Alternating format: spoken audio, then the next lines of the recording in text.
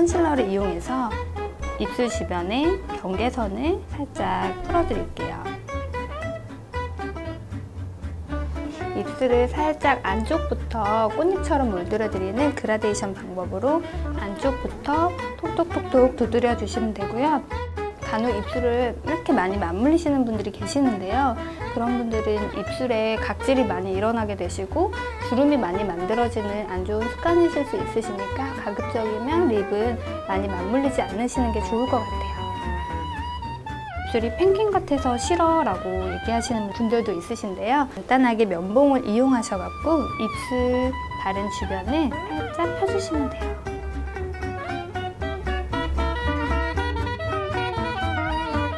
그라데이션으로 립 메이크업을 연출하시는 방법이 조금 부담스러우신 분들에게는 연한 오렌지 컬러의 립스틱을 이용해서 입술 전체에 예쁘게 펴발라 주시고요.